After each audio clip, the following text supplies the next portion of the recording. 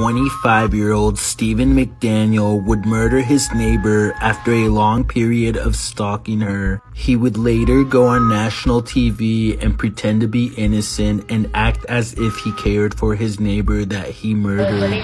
Yeah, Lauren was my neighbor. Um, we're just trying to find out where she is at this point. I mean, no one has seen her since Saturday. I mean, the last time anyone heard from her was an email that she sent out, and Mean, no one's heard from her since. Did you see her hang out with anyone at the time, anything like that? I mean, no, no, no one has seen her since Saturday. I haven't seen anything. I mean, you always hear noise outside, but it's just people walking by pretty much.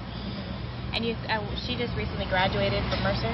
Yeah, she and I were we were both JD students. Um, we graduated back in May. What kind of person was she? I mean, how did you, what did you see? I mean, because I mean, we went at, we went over. One of her friends had a key. We went inside and tried to see if there was anything amiss, but I mean, she had a door jamb that was sitting right by it, so there was no sign that anyone broke in. I mean, the door was locked when everyone got here. I mean, we, we just don't know where she is.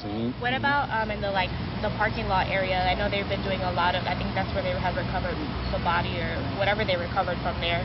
Um, body? Had you heard? any- Had you seen anything there? Had you seen anything there? I, I mean, we don't know if this is the same person. You know what I mean? Like they took out a body there earlier. We don't know if it's the same person or not. So that's how we're trying to ask people if they know who lived there. Are you okay, sir? I think I need to sit down. Okay.